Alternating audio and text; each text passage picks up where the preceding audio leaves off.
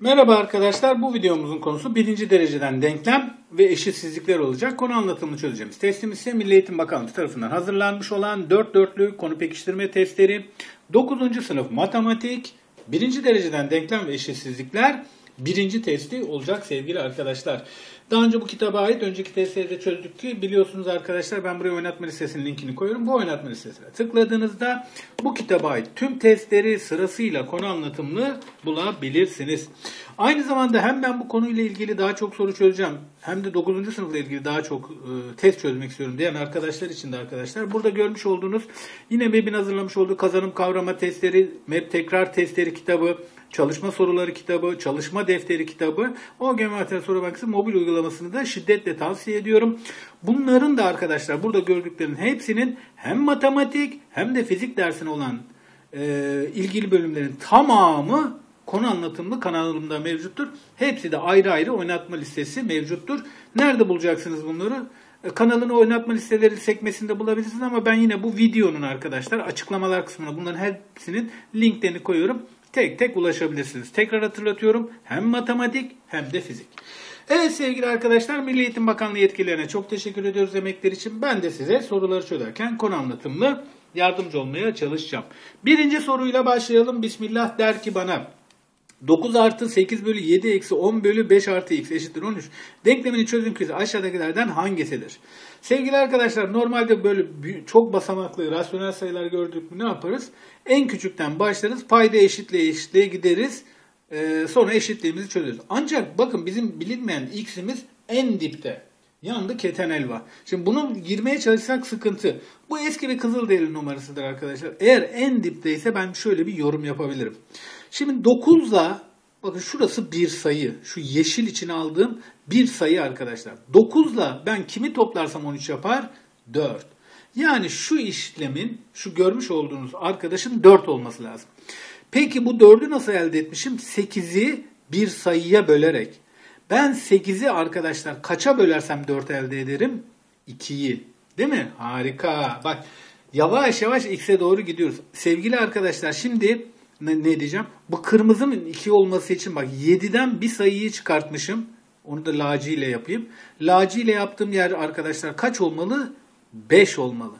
Velhasılı kelam 10 bölü 5 artı x eşittir 5 olmalıymış. Sen buradan yine aynı işler dışlar çarpımı yapmadan yine yürüyebilirsin. Dersin ki hocam ben onu kaça bölersem 5 e, elde ederim? Tabii ki 2'ye. Yani 5 artı x sayısının 2 olması icap edermiş. x burada kalsın. Hop biline, bilinmeyen bir tarafta kaldı. 2 eksi 5 dedim. 2'den 5 çıkmaz. Hop eksi 3 olur.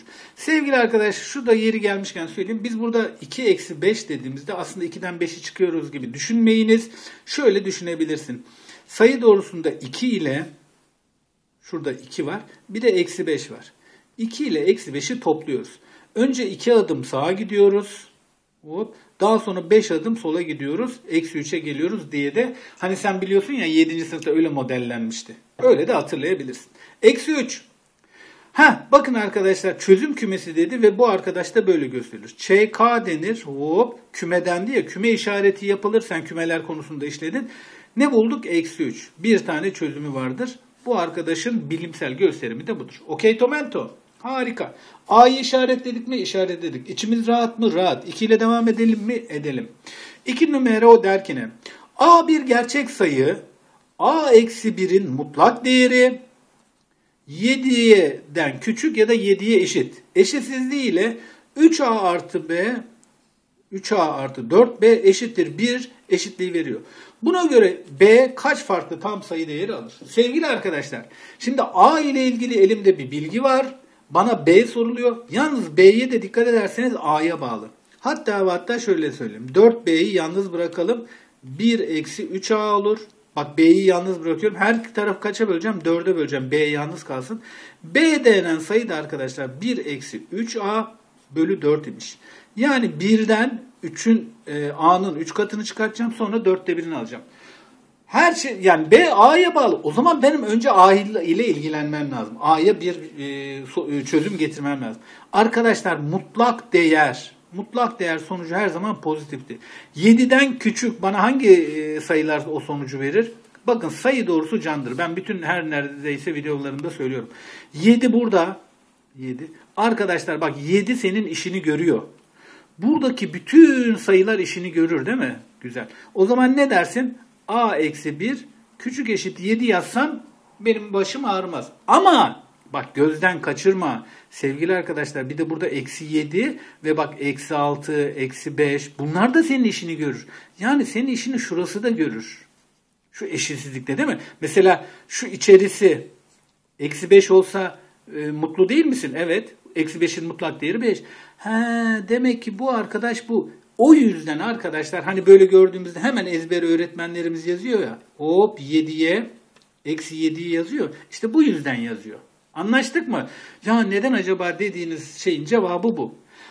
A ile ilgileneceğim. Şimdi A'yı yalnız bırakalım. Çünkü A'yı bir bulalım ki şu arkadaş B'ye doğru yürüyelim. Herkese bir ekliyorum. Eşitsizlik ya. Hop bu arkadaş A oldu. Bak taptaze. Sade sade. Bu arkadaş 8 oldu. Eksi 7'ye 1 eklersen bu da eksi 6 olur. Sevgili arkadaşlar A bu. Tamam mı? A dediğimiz arkadaş eksi 6 ile 8 arasındaymış. Güzel sen de zaten mantık yürütünce böyle olduğunu görüyorsun. Ben de genelde zaten lisede böyle çözmem. Düşünürdüm ya derdim bu 8 olsa tamam en küçükte de eksi 6 olursa tamam der öyle çözerdim. Tamam. Arkadaşlar şimdi bak sen B'ye ulaşacaksın. B'ye ulaşırken de bak B 1 eksi 3A bölü 4. Yani sen bak A'yı görüyorsun ya. Burada şu eşitsizlik var ya elinde güzel bir eşitsizlik var. Burada şu içeride şu ifadeyi görsen onun yerine B yazabilirsin değil mi? Güzel. O yüzden sevgili arkadaşlar bu arkadaşa bu eşitsizliğe öyle işlemler yapacağız ki şunu elde etmeye çalışacağız. Öncelikle A'nın katsayısını elde edersin. Herkesi eksi 3 ile çarparsın. Bak bu eşitsizlikte eksi 3 ile çarptığında burası kaç olur? 18 olur. Burası eksi 3A olur. Dikkat et eşitsizliği yazmıyorum çünkü neden olduğunu biliyorsun sen de. Hop bu da ne olur? Eksi 24. Sevgili arkadaşlar sen biliyorsun ki eksi bir sayıyla eşitsizliği çarpınca eşitsizlikler yön değiştirir. Diyelim ki unuttun. Şöyle kaldın. Ya çok mantıksız değil mi? Eksi 24'ten küçük olan 18'den büyük olabilir mi? Olmaz. O yüzden arkadaşlar eşitsizliğin de yön değiştirir. Biz bunu halk arasında nasıl biliyoruz? Eksiyle çarpınca eşitsizlik yön değiştirir. Okey tomento harika. Arkadaşlar önce x'in katsayısı şey a'nın katsayısıyla uğraştım. Eksi 3a'yı elde ettim. Eşitsizliğin yön değiştirme hususuna da dikkat ettim. Hata yapmadım. Şimdi 1 eksi 3a'ya gideceğim.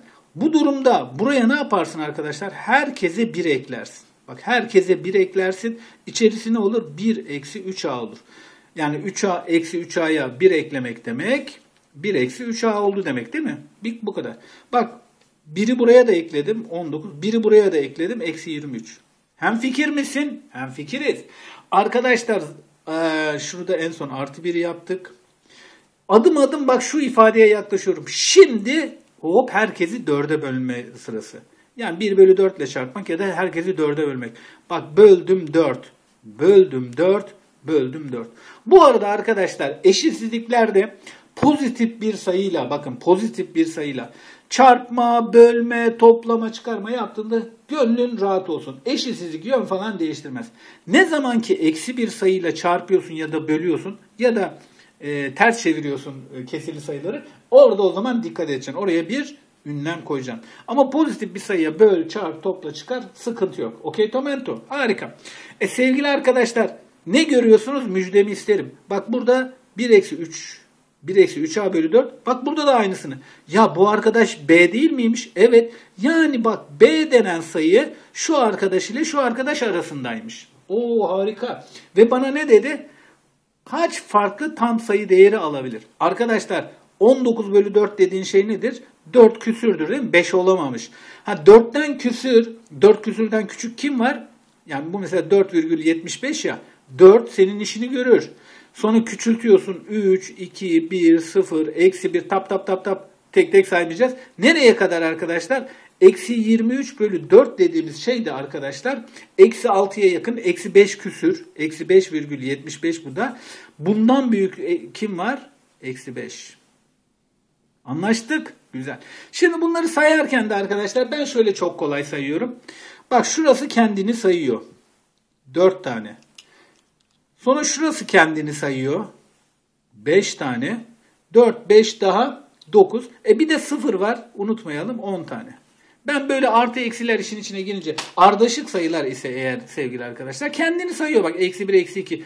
Değil mi? Sayı, rakam zaten o yüzden icat edilmiş. 1, 2, 3, 4 kendini sayıyor. 4 tane. Mevzu kapanmıştır. Kapatıyorum. Hop. Hüküm verilmiş ve kapanmıştır. 3 numara der ki X ve Y birer gerçek sayı. Y sıfırdan farklı olmak üzere X çarpı Y 18'miş arkadaşlar. 36 bölü Y denen arkadaş da 12'den büyük 72'den küçükmüş. Buna göre X'in alabileceği kaç farklı tam sayı değeri vardır? Yine aynı hikayeyle karşı karşıyayız. Başka bir versiyonu. Arkadaşlar X ile Y arasında bir ilişki veriyor. Bak Y hakkında bir bilgi veriyor. Bana X'i soruyor.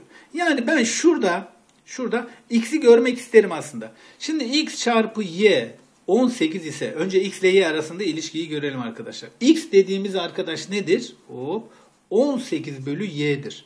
Değil mi? Harika. Sen şurada şurada 18 bölü y görmek istersin. Arkadaşlar 12 hop 36 bölü y hop 72.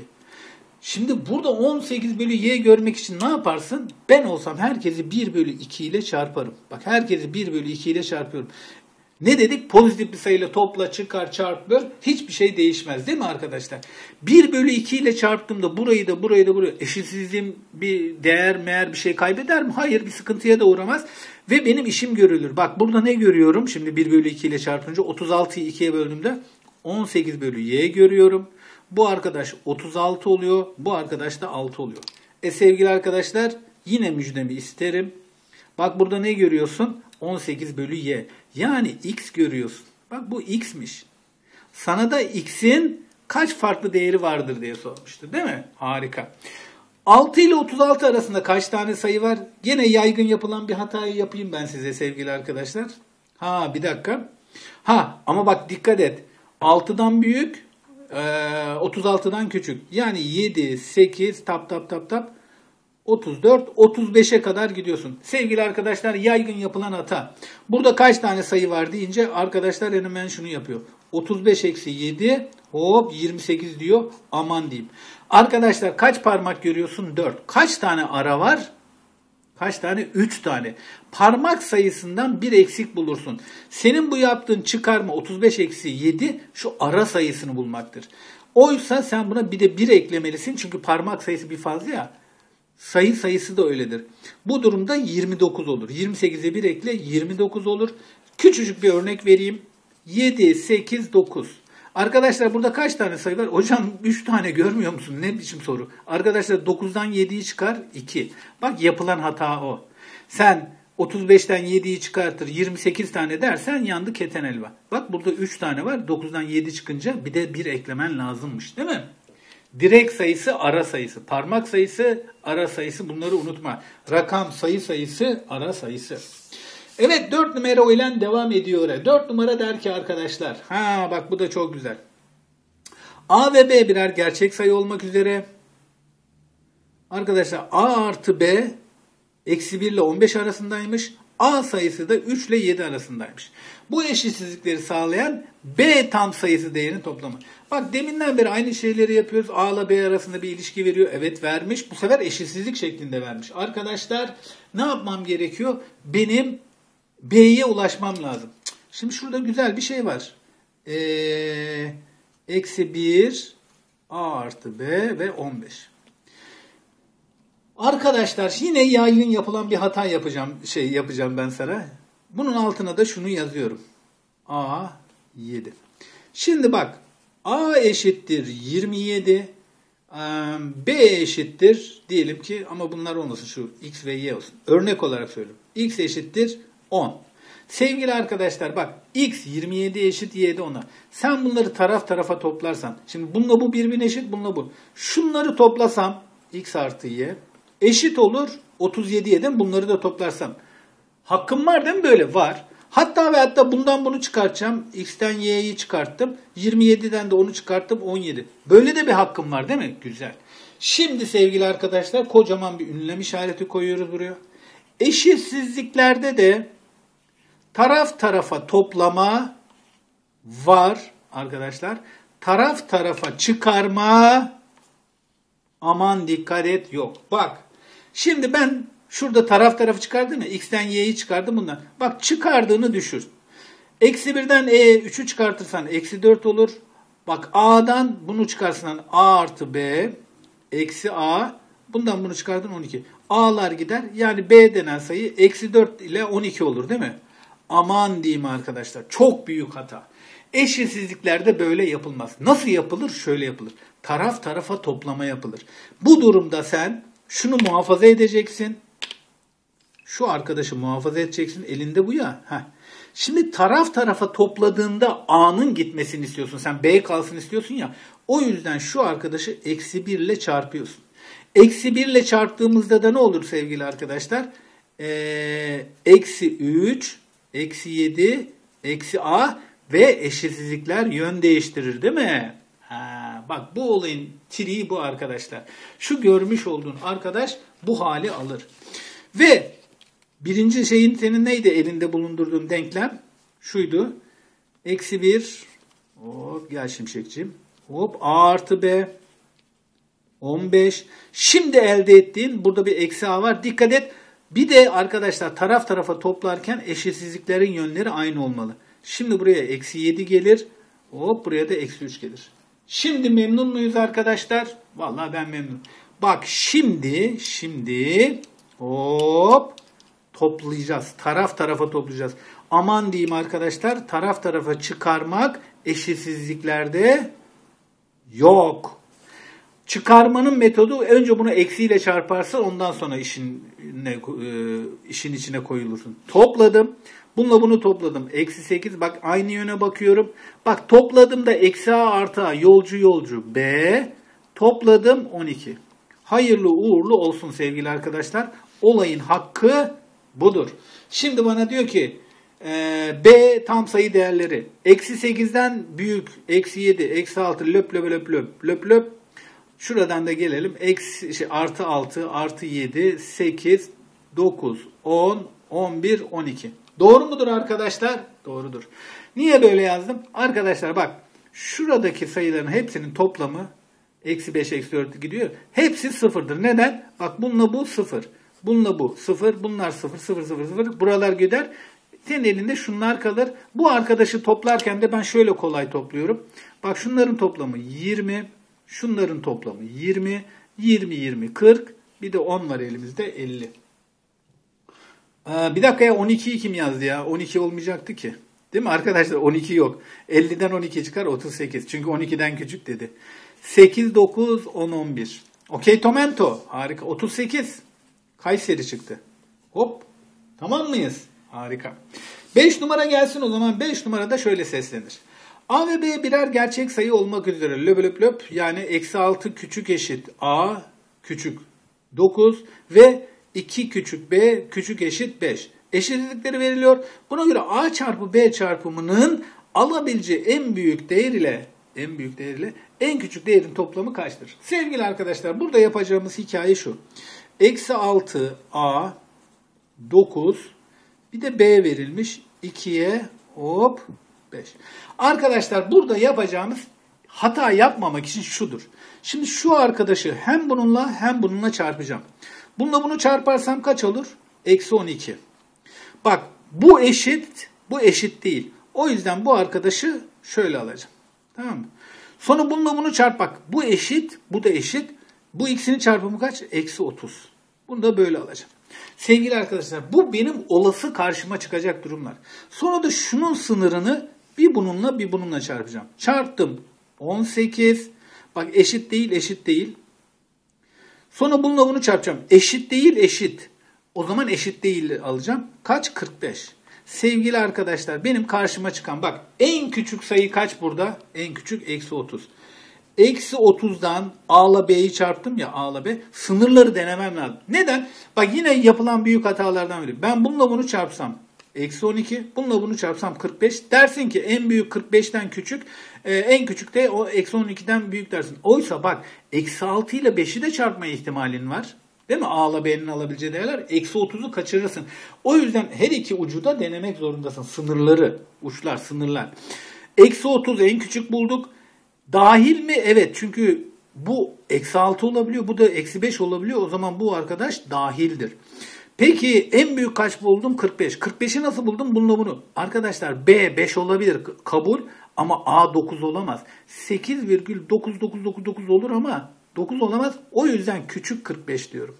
Neden öyle dediğimiz anlaşıldı değil mi? Hepsi bu yani. E bu durumda arkadaşlar A çarpı B en küçük kaç oldu? Eksi 30 oldu. Tam sayı değeri. Değil mi? Alabildiği tam sayı gerçek sayı Ha ama burada yanlış var arkadaşlar. Buna göre A, B çarpımının alabileceği en büyük değer ile en küçük tam sayı değeri demesi lazımdı. Burada tam sayı demesi lazım. Tamam mı? Burada unutulmuş bir şey var. Çünkü gerçek sayı e, ben burada 44,9999 da alabilirim. Eğer soru böyle kalırsa. Buraya e, editörlere rica ediyorum bir tam sayı eklensin. Anlaştık. Arkadaşlar 45'ten küçük en büyük kim? 44. Mevzu kapanmıştır. Bunların toplamı kaç? Eksi 30'da 44'ü topladığımızda 14 bulduğumuzu yani Bolu'nun plaka işaretini bulduğumuzu herkes biliyordur herhalde. Buradan Bolu'dan beni seyreden, bizleri seyreden, bizlerle beraber olan herkese de selamlarımızı gönderiyoruz. 6 numara gelsinler. 6 numara der ki x reel sayıdır ancak arkadaşlar 0, 3, 9 hariç. Bunun anlamı bu. Ya durduk yerde niye bunu yazdı? Şunun için yazdı arkadaşlar. Bak bana bir denklem veriyor. Abo hem de o kadar karışık ki. Bak eğer x 0 olursa burası tanımsız olur. Eğer x 3 olursa burası payda 0 olduğu için. Çünkü sayı bölü 0 nedir arkadaşlar? Tanımsızdır. Değil mi? Matematikte böyle bir şeyi gördük mü tanımsız diyeceğiz. Eğer 9 olursa da burası tanımsız olur, sıkıntı olur. O yüzden x bunlar olmayacak. Teşekkür ediyoruz. Soru kendini sağlama aldı. Bu denklem verilmiş. 9 bölü x eksi 9 artı x bölü 9 eksi x artı 6 eksi 2x bölü x eksi 3 artı x eksi 3 bölü x eşittir 1. Buna göre x kaçtır? Sevgili arkadaşlar normal şartlarda sen böyle kalabalık kalabalık rasyonel şeyler gördün mü şöyle bir ürkersin, kaçarsın, korkarsın. Gayet de doğaldır ben sana söyleyeyim. Ben de korkar kaçardım. Ama arkadaşlar burada bir şeyler olması lazım. Bir şeylerin sadeleşmesi lazım. Üzerine gidiyorum. Bak şurada x eksi 9 burada 9 x eksi x görüyorum. Çok tanıdık arkadaşlar bunlar değil mi? Çok güzel. Arkadaşlar şu iki arkadaşı bir ele alalım öncelikle. Daha sonra şunlarla ilgileneceğim. Bak bu 9 bölü x eksi 9. Şu arkadaş da artı x bölü eksi parantezini al aşağıyı. x eksi 9 olmaz mı? Evet. Niye eksi parantezini aldım? Bak paydalar aynı oldu. Hatta eksi 1 ile de genişletebilirdim ya. Öyle de yapabilirsin. Öyle de düşünebilirsin. Eksi 1 ile çarptığında bak burası 9 bölü x eksi 9. Şu eksiyi de yukarıya atıyorum. Eksi x bölü x eksi 9 yapıyorum. Anlaştık mı arkadaşlar? Bak bu haldeyim şu an. Burada da şimdi paydalarım eşit. 9 eksi x bölü x eksi 9 değil mi? Bak yine tanıdık. Al yukarıya yine eksi parantezinde x eksi 9 bölü x eksi 9. E bunlar sadeleşirse ne kalır? Eksi 1. Sevgili arkadaşlar şu arkadaş sorunun ilk kısmı meğersem eksi 1'miş. Hem fikir miyiz? Harika. Benzer bir şey şurada da bir şey gözüme çarpıyor. Bak sevgili arkadaş burada da 6 eksi 2x bölü x eksi 3 ya. Ya arkadaş ben yukarıyı eksi 2 parantezine alsam ne kalır? Bak eksi 2 ile x'i çarpsam eksi 2x. Eksi 3 ile de eksi 2'yi çarpsam bu elde ederim. Bak paydada da ne var? x eksi 3. Aa arkadaşlar ne görüyorsun? Sadeleş sadeleş. Bu da eksi 2'ymiş ya. Hop gel buraya onu da farklı bir kalemle göstereyim. Bu arkadaş da arkadaşlar şurası da eksi 2'ymiş. E meğersem soru şu kadarcıkmış ya. Şu siyahla taradığım kısım eksi 1. Şu yeşil olan kısım eksi 2. Bak artı eksi 2. Artı ile eksi karşılaştı. Eksi 2 oldu. Şimdi artı burası x eksi 3 bölü x eşittir. Buraya bir numara çekmiyorum. Çünkü neden olduğunu göreceğiz. Bak burası eksi 3. Eksi 3'ü karşı tarafa atıyorum. x eksi 3 bölü x eşittir 1 artı 3 olur. Değil mi? Harika. Bu da 4 olur. x eksi 3 bölü x eşittir 4'tür. Bu saatten sonra ne yapıyorduk arkadaşlar? Bak paydasında 1 var. İçler dışlar çarpımı. x eksi 3 ile 1'i çarparsam x eksi 3 olur. 4 ile de x'i çarparsam bu. Bilinenler bir tarafa, bilinmeyenler bir tarafa. 4x eksi x. Burada eksi 3'üm var. 4 tane x'ten x çıkarsa 3x. 3x eksi 3 ise x dediğimiz arkadaş arkadaşlar eksi 1 olur değil mi? E, mevzu da yine tatlıya bağlanmış olur. Bursayı işaretlersin. Sonra soruyu çözmüş olmanın verdiği büyük bir keyifle arkadaşlar 7. soruyu çağırırsın. 7. soru buyursunlar. Ve 7. soru çağrımıza kulak verir sahnedeki yerini alır. Ve der ki bize x, y, z reel sayı olmak üzere x 1 değil, y 3 değil, z de 5 değilmiş arkadaşlar. Farklı.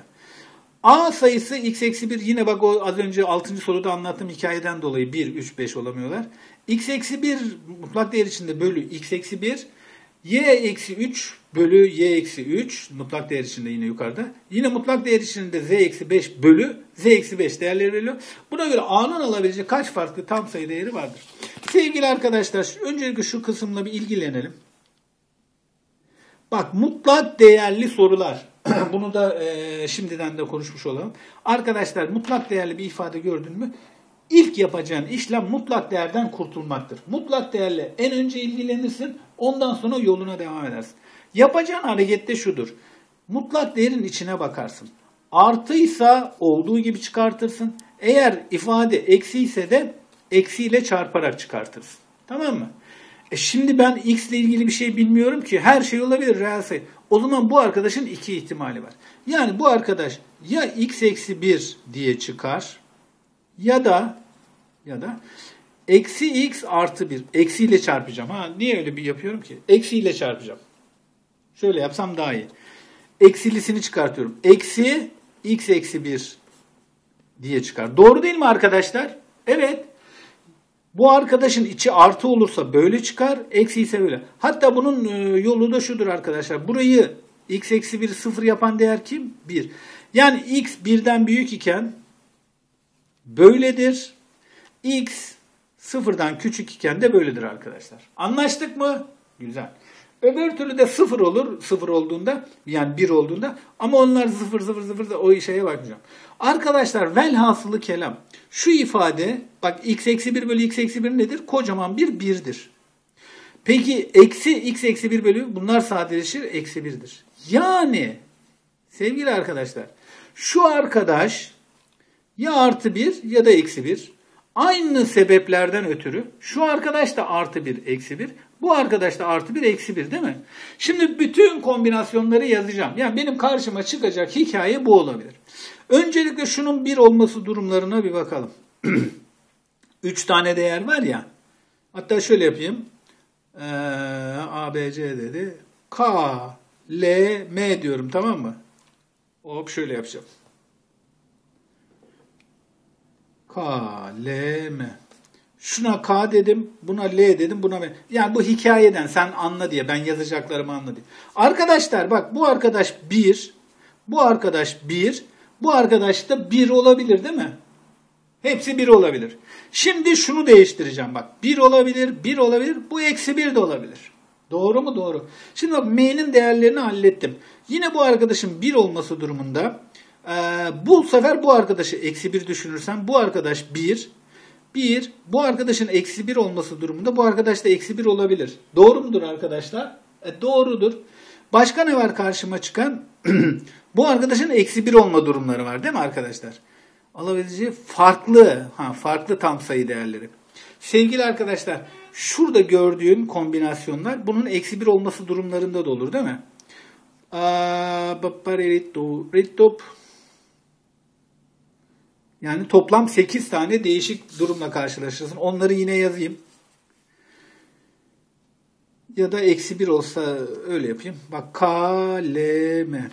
Bu sefer bu arkadaş eksi 1 olabilir. Bak bunlar yine 1, 1. Bu arkadaş eksi 1, bu 1, bu eksi 1 olabilir. Bu eksi 1, Bu sefer bu eksi 1, 1, eksi 1, eksi 1, eksi 1 olabilir. Değil mi arkadaşlar? Hepsi bu. Hadi bunları toplayalım. Yalnız farklı tam sayı değerli. Şunların toplamları artık topluyorum. 3. Şunları toplarsam 1. Bunları toplarsam 1. Şimdi bunları toplarsam arkadaşlar, ha şunları boş geçmiş topladığı için hop eksi 1. Şimdi şunları topla 1. Bunları topla eksi 1. Bunları topla eksi 1. Bunları topla eksi 3. Arkadaşlar farklı dedi ya bana. Bak farklı 3 görüyorum. 1 görüyorum. Bunlar zaten 1 1 1. Şu arkadaş eksi 1'di. Eksi 1'i alıyorum. E, biri daha önce aldım. Eksi biri de aldım. Eksi biri almıştım zaten. Hop 3. Arkadaşlar karşıma çıkan arkadaşlar bunlar. Farklı değerler. Ve bunların bana çarpımlarını soruyor. 3 çarpı 1 çarpı eksi 1 çarpı eksi 3. Anlaştık. Güzel. Eksi ile eksinin çarpımı artı. 3 ile 3'ün çarpımı 9. Mevzu yine kapanmıştır. Diyarbakır seçeneğinde bana göz kırpıyor. Okey, tomento. 8'de devam ediyorum. 8. soruda şöyle seslenir. X ve Y değişken.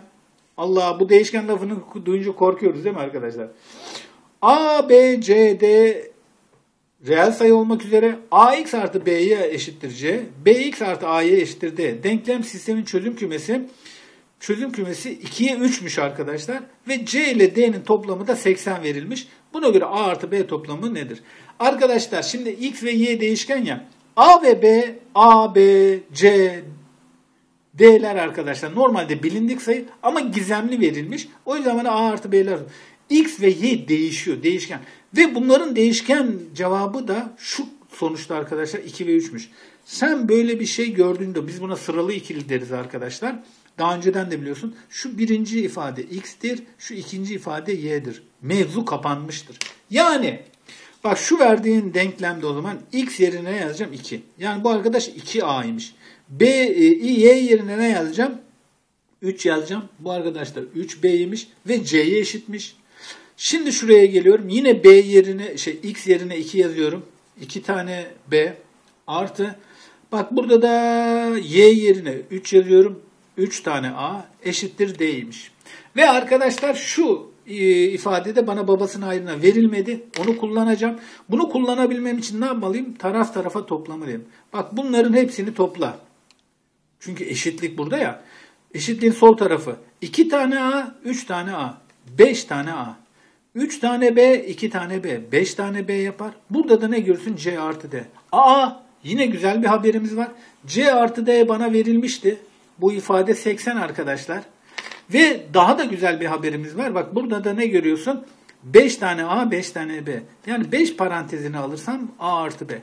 5 tane A artı B 80 imiş. E ben zaten A artı B'nin peşindeydim. A artı B kaç olur arkadaşlar? Her iki tarafı 5'e bölmem lazım. 16 olur. Bulsa. Okey tomento. Kapişi. Harika. Edirne'yi işaretledik mi? Nefissimo. Let's go number 9. 9 numarada şöyle sesleniyor arkadaşlar. Hmm.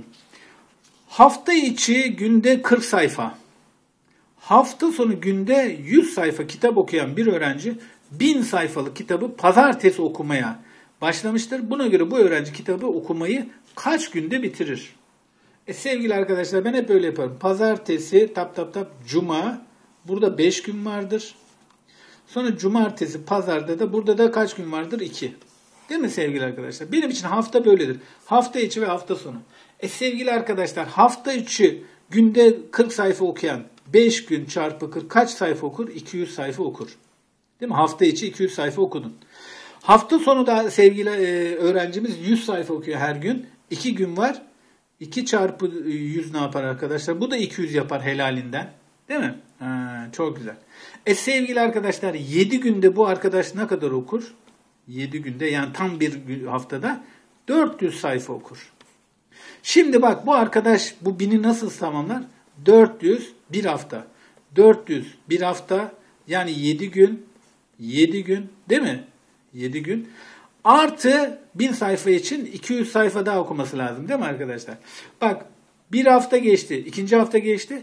Üçüncü haftanın hafta içinde de bunu tamamlar. Burası da kaç gün? 5 gün. Bu durumda 7 gün 7 gün Hop artı 5 gün daha 19 gün sürer. Tam da altına geldi.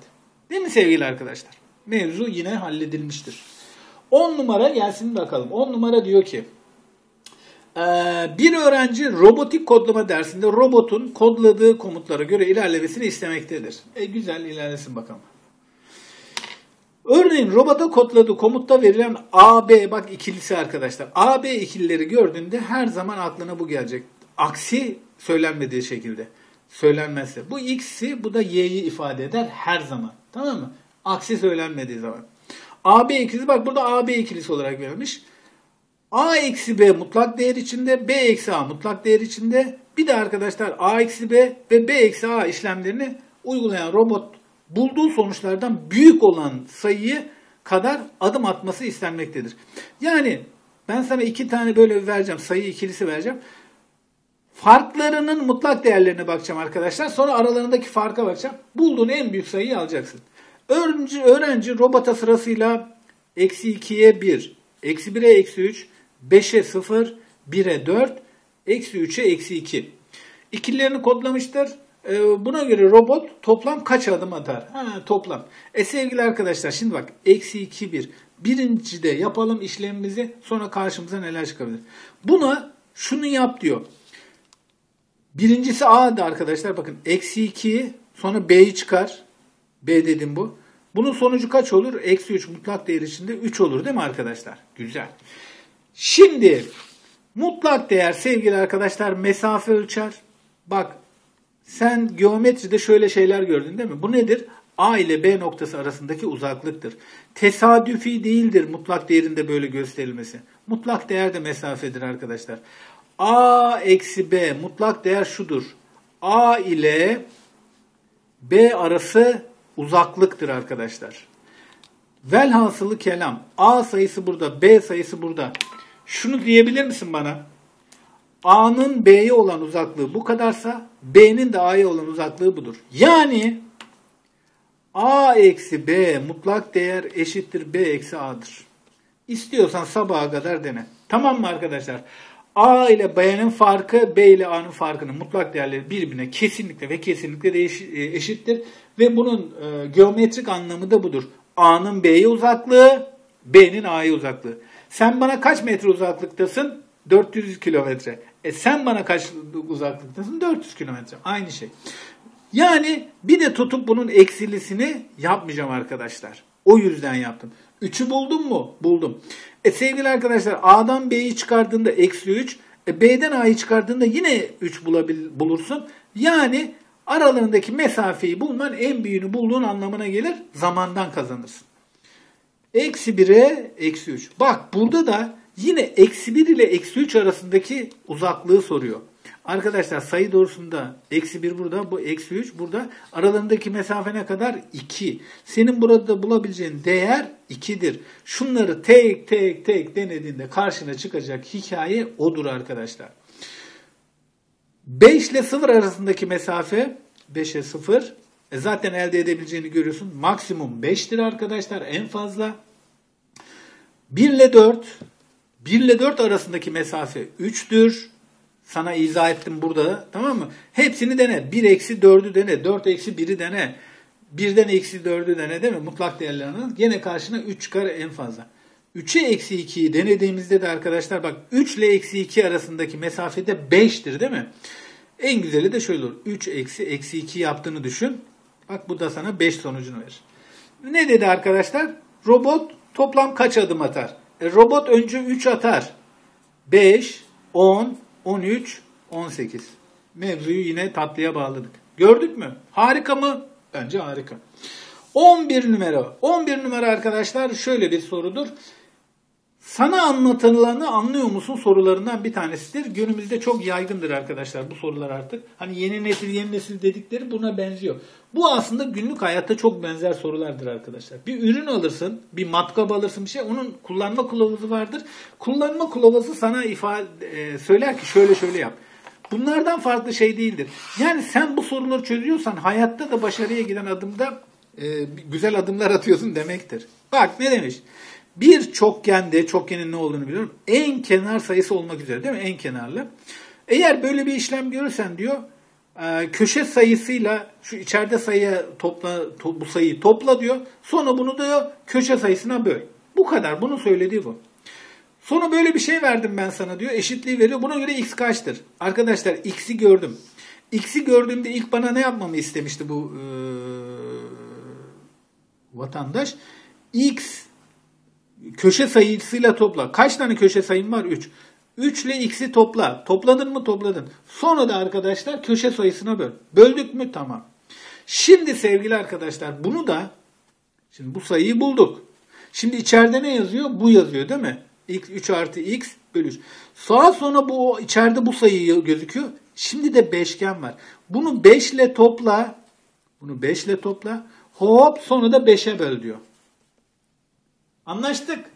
Öncelikle sevgili arkadaşlar x sayısı vardı. 3 ile topla 3'e böl. Tamam. Şimdi bu arkadaş beşgenin içinde yer aldı. 5 ile topla 5'e böl. Harika. Bu eşitmiş. Şimdi bunu daha hızlı yapabilirim. Bak x sayısına sevgili arkadaşlar 1, 2, 3, 4, 5, 6 tane köşegen var. 6'yı x'e ekle böl. Hadi yapalım. 6 artı x bölü 6.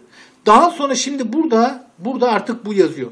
Buna 4 tane var. 4 ekle 4'e böl diyor. Tamam. Yapacağımız hikaye bu arkadaşlar. Tamam harika. Şimdi bu arkadaşı da işlem yaparken nasıl yapalım? Aa, şunları içler dışlar çarpacağım ya ben böyle yapacağım. Bununla bunu çarpıyorum arkadaşlar. Şununla bak 4 ile burayı çarpıyorum. Önce 5'i çarpıyorum 20. Artı 12 artı 4x bölü 3. Çok mu uzun sürecek böyle ya? Yo böyle yapıyorum ya. Böyle tercih ettim.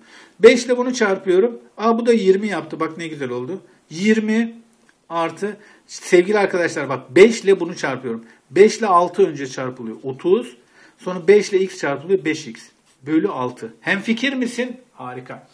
Evet sevgili arkadaşlar güzel bir haberim var. 5 ile 4'ü 5 ile 4'ü çarptım. Bak karşılıklı 20'ler var. Her iki taraftan 20'yi çıkarttım. Şimdi yine işler dışlar yapabilirim ama her iki tarafı 3 ile çarpsam bak şunlar da kendi aralarında sadeleşir. 3 ile çarparsam şöyle göstereyim de hadi kafan çok karışmasın. Bölü 3 eşittir 30 artı 5x bölü 6. Bak ben hayatım boyunca öyle yaptım. Hiç yüksünme. Ben bunları içler dışlar çarptım. Hiç şey değil. Ama sonra öğrendim ki her iki tarafı 3 ile çarpsam hiçbir şey değişmez değil mi? Bak ama değişen şu olur. İşlem sadeleşir. Bununla bu sadeleşir. Bak bununla da bu sadeleşir. Burası 2 olur. Rahat edersin. 12 artı 4x eşittir 30 artı 5x bölü 2 olur. Bunun altında artık 1 var. İçler dışlar şimdi 2 ile çarp. 24 artı 8 tane x eşittir 30 artı 5 tane x. Değil mi? Şimdi bütün x'ler ve y'ler bir tarafa arkadaşlar. Diğerleri gittik ama inşallah şeylerde buluruz. Arkadaşlar bu bunu buraya aldım. 8 tane x eksi 5 tane x. Doğru mu? Doğru. Burada 30 kaldı. Hop buraya da 24'ü aldım. Bu. Bundan bunu çıkardım. 8 tane x'ten 5 tane x. 3x yapar. Bundan bu 6. Şimdi x'i yalnız bırakacağım. Hop hop. X'in kaderi bu. 6 bölü 3 2. Hem fikir miyiz? Harika. Olay budur arkadaşlar. En güzel çözüm de bana sorarsanız budur. Bursa'yı da işaretlersin. Anlaştık. Hem fikir miyiz? Harikulade. Arkadaşlar testi bitirmeden önce şurada görmüş olduğunuz testleri size tekrar hatırlatıyorum. Burada gördüğünüz tüm testlerin yine kanalımda çözümleri mevcuttur. Ee, nerede bulacaksınız bunları kolaylıkla? Çözmeniz hayrınızadır. Ee, bu videonun açıklamalar kısmında linkleri vardır arkadaşlar. Kolaylıkla erişebilirsiniz. Evet sevgili arkadaşlar böylelikle bu testimizin de sonuna gelmiş bulunuyoruz. Dinlediğiniz, seyrettiğiniz için teşekkür ederim. Umarım sizler için faydalı bir video olmuştur. Sağlıcakla kalın.